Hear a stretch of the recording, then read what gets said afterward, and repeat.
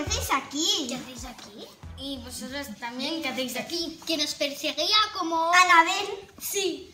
Y a nosotros nos perseguía, no sé quién era, pero y entonces nos metimos allí para escondernos.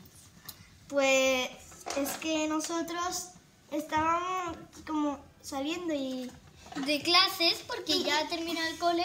y claro, eh, vinieron y, y, y ya no sé cómo expresarlo, pero, pero nos hemos escapado, menos mal.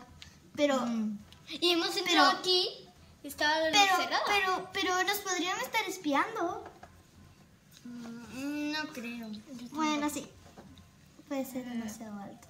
Bueno, ¿qué podemos hacer ahora? Es que... No sé. tenemos que- ¡Mira! Era ese el que nos perseguía.